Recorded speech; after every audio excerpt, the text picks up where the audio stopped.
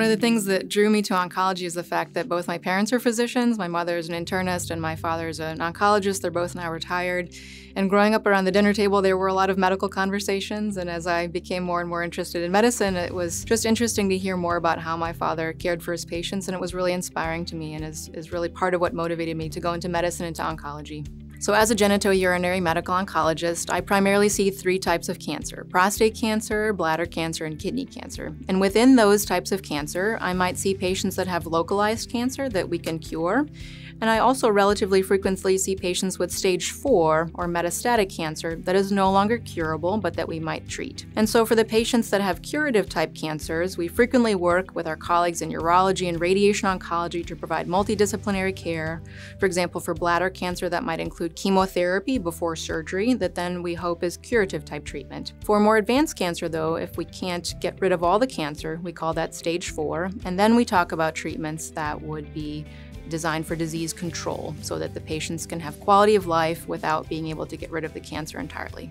So when talking about the types of patients I see, that is patients that have metastatic or stage 4 cancer, a lot of patients wonder about what things might look like in the long term. So the best success stories I would say when we talk about patients that have incurable cancer are those where we can prolong their quality of life with treatment and have treatments be tolerable for them so they can continue doing what they enjoy and spending time with their families. I think one of the really encouraging things about where the field has gone recently, specifically in genitourinary oncology over the last several years, is the fact that even if patients have a diagnosis of stage 4 cancer, which can feel very frightening and is worrisome to patients, there's been phenomenal advances in the number of treatments and the utility of treatments that we've developed over the last several years, so that we are seeing more and more patients that are living for several years, even with advanced cancer, and they're having good quality of life, and their cancer is able to be controlled.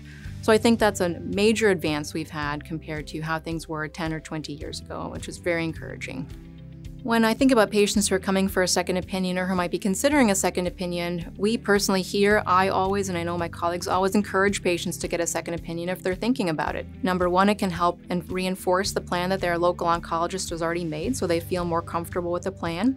Or sometimes it ends up that we have an opportunity, a clinical trial or some other treatment that their oncologist may not have been aware of or that the patient may choose to take advantage of.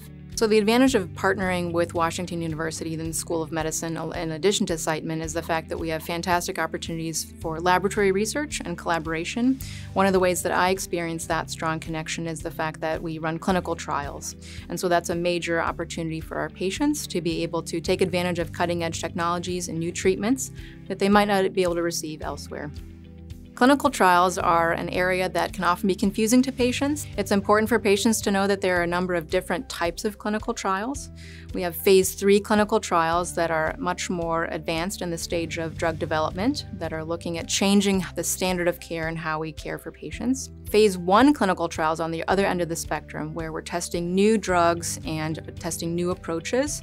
And those are situations where it's a brand new idea, a brand new type of treatment, where we're looking to see if the drug is safe and tolerable for patients, but it's not necessarily going to tell us how well it works.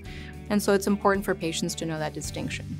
Phase two trials are quite common, and that's often where we're using an established drug to see if it works in a new cancer type. And so we have all different types of these trials at Siteman and at Washington University, and we're able to employ everything across the range of these trials. I think one common misconception about clinical trials is that patients worry that they might get a placebo, that they might not get the actual study medicine. We would never give a placebo in a situation where it would be unethical. We always want to make sure that patients get the minimum of a standard of care medicine. So a placebo-controlled trial would only ever be the most appropriate course if the usual treatment is watching or observation. They're always going to get appropriate therapy and we would never withhold therapy just because they're on a clinical trial. So I think that it's important for patients to come to a place like Siteman where we have clinical trials available because that's really how we move medicine and oncology and science forward.